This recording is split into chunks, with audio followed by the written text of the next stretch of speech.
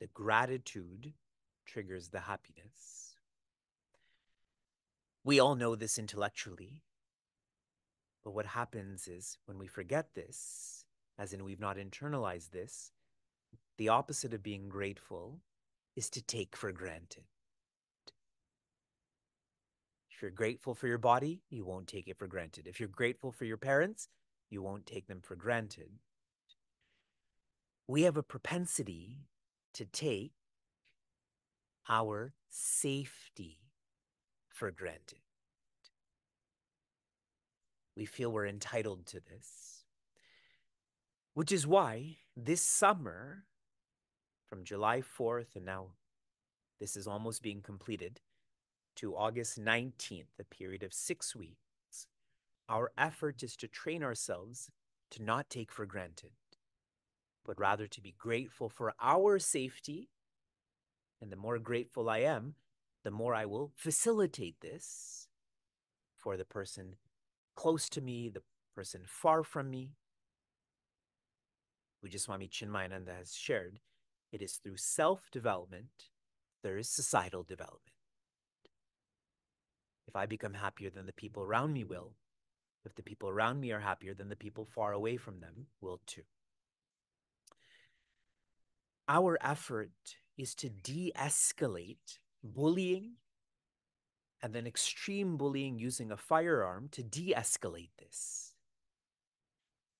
My experience with working with young people for almost 20 years now is the effective way to do this is to live with them, to teach them, to work with them. This is a methodology to de escalate so that firearms are just not accessed by young people or accessed less. Now, in one of our final knowledge sessions, I want to accentuate how thoughtful our team is. Our team is made up of Lavanya from Raleigh, Nishi from Houston, Rachna from Atlanta, Ryan from Eureka Springs, and Varsha from Chicago. They have taken firearms and how it affects society, how it affects adults, how it affects young adults, and now what we're going to think about is how it affects oneself. When I use a firearm on firearm on myself, the proper terminology for this would be self-harm or suicide. In our self-development maps, there's a very powerful and frightening term called Atma Ha. Ha means to destroy. Atma here means the opportunity to know who one is, to know what one is. So Atma Ha is the self harm or the suicide of the opportunity to be independently joyous. But for me to be independently joyous, I need to be alive. I have to have a body. That's what precedes this. And I see such sadness and I see such spreading of this ha- sadness in terms of suicide and how using firearms just escalates this. And that's what our team will now be elaborating more on. I try to focus on this in terms of big picture and the philosophy in our team, who's so smart and so sattvic, they do this in a personal way, the details. Team? Hari Om and Vivekji, thank you so much. Um, I wasn't sure exactly how I was going to lead this, but you inspired me to give a couple of stories first, Vivekji. Um, so throughout med school and residency, the thing they always pound in your head when they talk about mental health and suicide is number one, males are always going to be significantly more effective. Don't know why, but just something to know when you're dealing with mental health and suicide and firearms.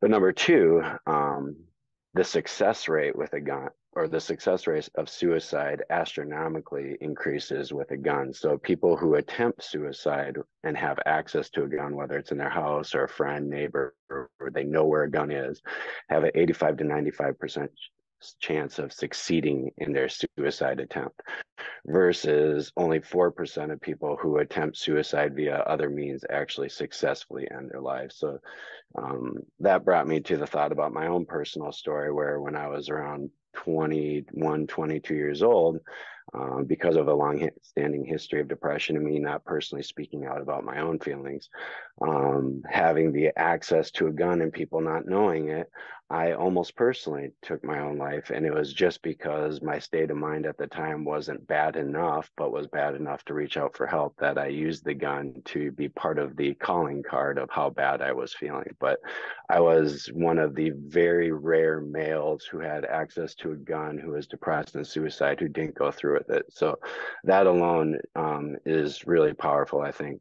Um, some other things I wanted to mention before we get into some key points was that data I find is the most important thing that we can have in regards to our ability to make a rational um, argument and to have a conversation back and forth with those who are very passionate and who may feel that they know the data but maybe don't and you can give them that data to really help them stew on it for a while and think about like wow maybe this isn't quite what I thought it was so a couple of things that I think are important to know that are more of data points is that over half of suicides are completed with firearms. And in 2022, that was 27,000 people in the United States who killed themselves. So half of those people were suicide by firearm alone.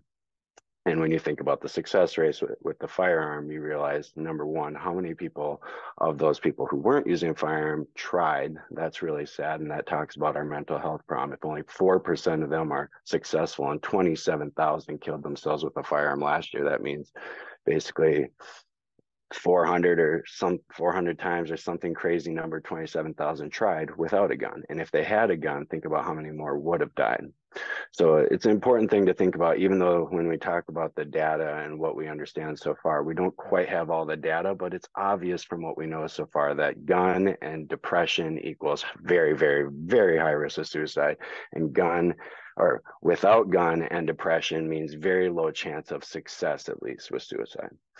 Um, a couple other numbers that are really sad when we were talking about youth, especially it's why it's passionate for me, is the rates of suicide have gone up in our youth, especially the highest of everyone. So like the 10 to 14 year olds, there's been a 150% rate percent rate of suicide success in the 10 to 14 year olds over the last nine years. So just something to think about. And the last thing in the 10 to 19 year old age groups, over the last six years, there's been 21,000 deaths from firearms.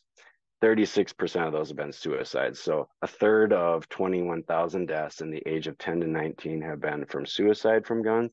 The other two thirds have been from someone else, unfortunately, or an accident with a gun. Either way, still the gun is very likely going to be the end means to the problem. So some things to talk about regarding uh, the Giffords uh, website, if you guys have had options or opportunities to access that, as well as some other kind of mainstream media that discusses this a lot. The CDC has a lot of data on suicides and firearms, and the Rand Institute has also looked at this as well. Um, so just wanted to pick out a couple of key points that I thought were interesting. So first of all, um, kind of like we were mentioning, suicide has been increasing crazy since 1999 and hasn't seen a dip except for one time in 2019. Um, and it also has been worsening in all states, regardless of whether they have what we're going to be talking about, which is like red flag uh, laws or not. So that kind of gets into some of the debate that you'll hear if you start talking about this with people, which is there's two states that have really been studied well. There's Indiana and Connecticut. And they have found that both states actually seem to have an effect on the suicide rate, but the controversy comes in the data set sub analysis, which basically showed that in Indiana, they saw that red flag laws and emergency orders to remove guns showed an all decrease in suicide rate in Indiana, which really spoke to the advocacy for the mental health awareness. These red flag laws and laws that were emergency protection orders were a end product of people being aware and advocating for mental health and being vigilant about their friends, family, significant others so that they could try to stop something before it happened. And I think that's a really important thing to think about when we're talking about what we're talking about, which is the advocacy for this. How many times in history have we heard people say, why didn't people speak up? Why didn't they speak up earlier? And that's what we're talking about here. We're, we've seen for a while now that guns clearly are affecting people's lives in the worst possible way for the most part. And we can either continue to sit here and say it's not me that's being a part of that, so I don't have to worry about it, or we can be those people who terrible example maybe but who were living in germany and weren't nazis and didn't speak up. You know at some point people are going to look back at us and say why didn't they do something? And so i think that's why our community really has to be one of those people that thinks yeah i need to be me. So um the the controversy getting back to that was in Connecticut they actually found that unfortunately they had a higher total number of suicides after these emergency orders to remove guns from households that were at risk for suicide by gun. They just found that unfortunately suicide numbers total numbers even went up in Connecticut despite these laws. So this is where you'll get your naysayers pointing out like yeah the data doesn't show it. But overall in the very short period of time that we've had to be able to analyze this data, it's it's overall showing good things. And I think this is important. My wife would kill me if I didn't mention this to say that the most important thing about statistics is that to find a significant difference in whatever outcome you're trying to find, you have to have an astronomical population to study when you don't have when you only have 20 or 21 of these states currently over the last very few years implementing these kind of studies you don't have the kind of data set necessary to be able to find the massive changes you want to be able to publish in your study at this stage of the game. But if we advocate for more states pushing these emergency protection orders and we actually get that change with time we will have more data to hopefully show that places like uh, Indiana are going to see not only decrease of suicide by gun, but decrease in total suicides because of our advocacy and alertness for mental health. So, um, a couple of things that Rand did point out, even though we really aren't seeing the depression and suicide numbers with gun access really yet right now, they are already seeing that mass shootings because of these emergency protection orders have dropped significantly. Um, a couple of numbers that I just thought were interesting. There was a study in California that found over the time that they've established these laws, they've prevented 58 potential mass shootings. Um, research in Indiana said that one suicide was prevented for every 10 guns removed. Pretty significant number when we talk about medicine. Anything that's one in 10, you give that treatment because that's how powerful it is. So if we can remove one gun and, or remove 10 guns and save one life, you should do it. That's what the statisticians tell you. So um, I think I'm going to end it there and just leave with you guys all to think about something at least, which is that we're coming to the end of this part of the um, group process this year. And I think everyone that's here has a reason for why they're here.